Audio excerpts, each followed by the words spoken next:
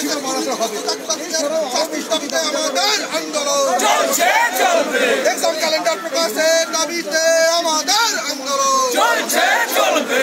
Exam calendar প্রকাশের দাবিতে আমাদের আন্দোলন। চলছে চলবে। প্রত্যেকটি নিয়োগ প্রক্রিয়া সম্পন্ন হওয়ার পর নঙ্গা নিশ্চিত ভ্যাকেন্সি আপডেটের মাধ্যমে নিয়োগ প্রক্রিয়া সম্পন্নের দাবিতে আমাদের আন্দোলন। চলছে চলবে। অবিলম্বে মিসলেনিয়াস দু হাজার আঠারোর নিয়োগ প্রক্রিয়া সম্পন্ন হওয়ার পর নঙ্গা নিশ্চিত ভ্যাকেন্সি আপডেটের মাধ্যমে প্রক্রিয়া সম্পন্নের দাবিতে সমস্ত চাকরি এক হও। Police I waiting list vacancy আপডেটের মাধ্যমে ভ্যাকেন্সি আপডেটের মাধ্যমে নতুন প্রক্রিয়া সম্পন্নের দাবিতে এবং ইলেকট্রিক্যালে নঙ্গা নিশ্চিত ভ্যাকেন্সি আপডেটের মাধ্যমে নিয়োগ প্রক্রিয়া সম্পন্নের দাবিতে আমাদের আন্দোলন। আইডিও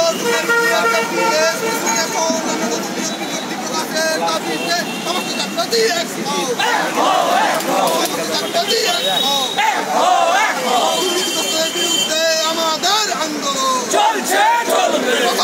বর্মনকে জেলে ভরার দাবিতে আমাদের আন্দোলন। চলছে চলবে।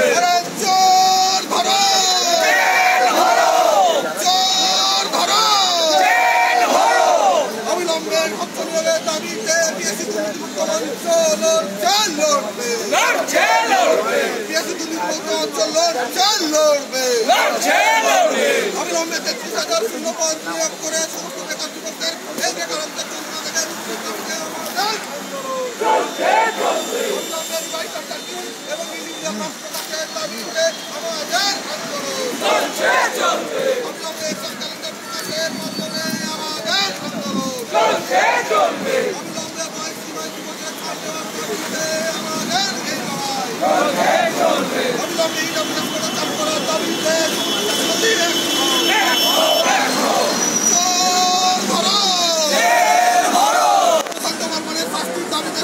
Batia!